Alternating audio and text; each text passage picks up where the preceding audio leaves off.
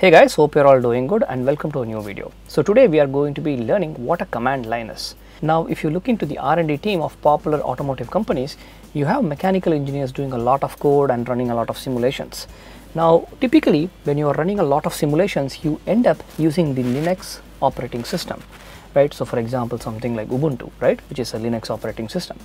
Now usually if you take Linux, um, it has a graphical user interface, so you should be able to open files using your mouse and keyboard, but it has something called as a command line interface. So for example, here you can see that there is this black box which you call as terminal and I'm typing in some commands to basically navigate through it. By the way, this is what you call as OpenFOAM, right?